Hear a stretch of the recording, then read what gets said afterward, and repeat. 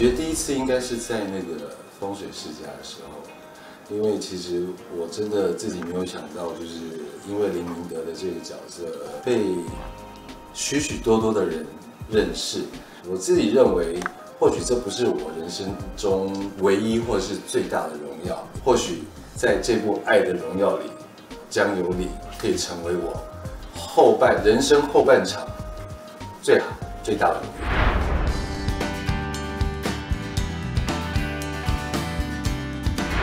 认为江有里应该是我从影以来最大的一个挑战，他会是本剧最大的坏人。深入去了解这个角色之后，发现这个角色其实很多的层面，因为他的坏在刚开始的时候并不是外显示的，大家都以为他是一个大善人，但是骨子里却是坏到一个其实很没有人性，然后甚至可以为了自己。呃，去牺牲朋友，牺牲他的兄弟，甚至连妻子，他都是在当初是有计划性的娶了她作为他的老婆。以江有礼的这个角色来说，他很懂得人心，如何去操控他们，得到江有礼所要的。红心啊，不然那种固定海，对吧？来，绝对别问。我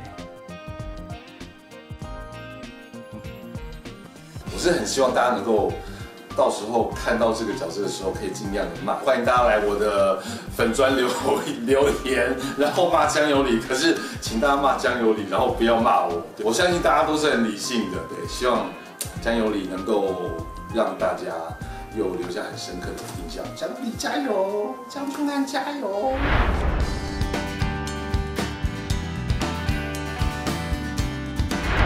对于海月来说，我先说海月，她是属于比较有自我和高冷型的，她像是一个女王，她需要有人去捧她，把她呵护在手心里，所以在江有里对待她的方式的时候，会比较不像她的在外面的这么的霸气，然后她会变成是一个让这个女王觉得说哇，外面的这个霸气主，可是到回到家里之后，却变成是。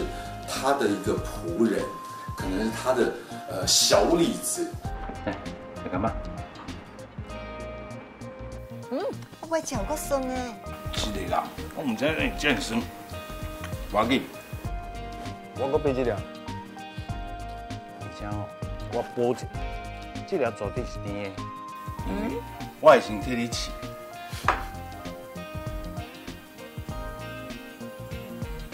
马志松了。哇，那也真低啊！那也真到硬啊！敬请锁定《明视》最新八点档《爱的荣耀》。